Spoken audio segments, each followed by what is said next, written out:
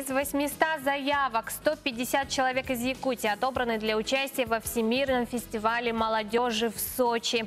Сегодня в связи с этим э, мы рады представить вам наших утренних гостей. Это Василина Лукина, заместитель министра по делам молодежи и семейной политики Республики. Александр Владимирович Сусоев, народный депутат Республики, председатель регионального подготовительного комитета по подготовке и проведению Всемирного фестиваля молодежи и студентов. Доброе утро. Доброе утро, Доброе уважаемые гости. Так что же представляет из себя фестиваль такого уровня? А, ну, история фестиваля начинается с 1945 года, когда после окончания Второй мировой войны а, молодежь из разных уголков мира собрались в Лондоне на Всемирную конференцию молодежи. И тогда было принято решение о том, чтобы проводить такие фестивали. А, идея фестиваля в том, что именно молодежь является носителем мира на всей земле. И первый фестиваль с лозунгом «За мир и дружбу» прошел уже в 1947 году в Праге. В нашей стране фестиваль проходил два раза. Это в 1957 и в 1985 году а, в Москве. А, В истории современной России фестиваль пройдет впервые в этом году, уже в октябре. Это 14 и 22 октября в Москве и в Сочи. Здорово. Ну, 150 человек прошли отбор, Из да? 800, как, да. как проходил отбор? Интересно. Ну, наверное, тут э, надо сказать о том, что действительно шла большая подготовительная работа для того, чтобы больше заявок э, поступило от молодежи нашей республики. Вот вы уже сказали, около 800 заявок поступило. Отбор проходил в несколько этапов. Первый этап – это регистрация на сайте и оформление анкеты. До 1 мая регистрировались потенциальные участники на сайте.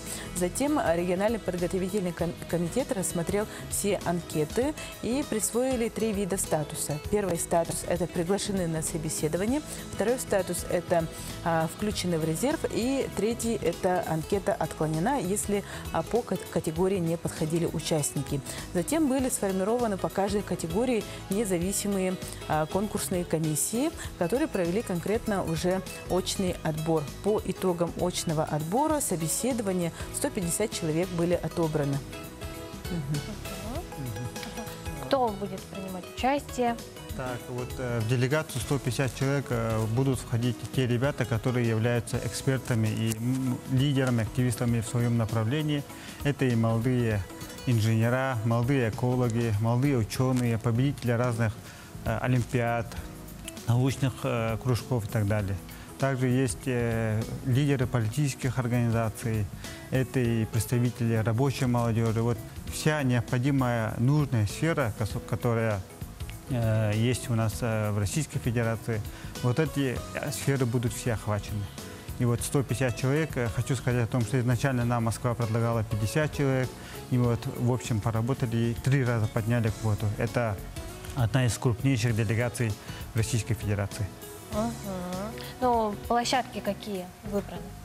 А, Ну, мы а, предполагаем участие, конечно же, во всех площадках, но акцент делаем на четыре основные. Это спортивная, культурная, презентационная и дискуссионная.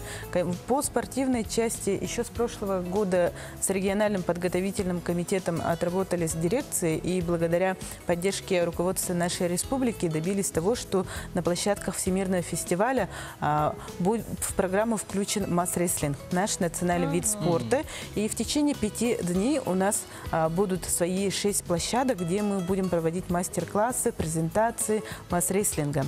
И а, по презентационной части мы готовим свой выставочный павильон, где, конечно же, всю уникальность нашей республики, народов нашей Якутии мы должны будем там показать.